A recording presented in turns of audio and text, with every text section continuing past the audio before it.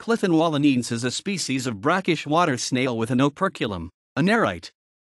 It is an aquatic gastropod mollusk in the family Neritidae, the Nerites. This species occurs in Indo-Pacific region, Nansei Shoto in Japan, Hong Kong, Thailand, Peninsular Malaysia, Singapore, Java in Indonesia, Philippines, Papua New Guinea, Queensland in Australia, India and Ceylon. It also occurs in American Samoa, Cook Islands, Fiji, French Polynesia, Guam, New Caledonia, Samoa, Solomon Islands, and Vanuatu. The coloration pattern on the shell is very variable. Clithon oualaniense is a eurybiotic species. It inhabits soft bottoms of intertidal habitats. It can occur in high density, for example 347 snails per m superscript 2 was recorded, that correspond to the biomass of 30.6 g per m superscript 2. It also inhabits sea grassbed with Zostera japonica.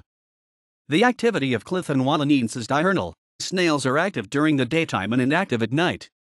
It bury itself into the mud when the tide is high, probably to avoid water predators. They are on the surface feeding and mating when the tide is low. Clithon oualaniense is herbivorous, feeding of microalgae and on detritus.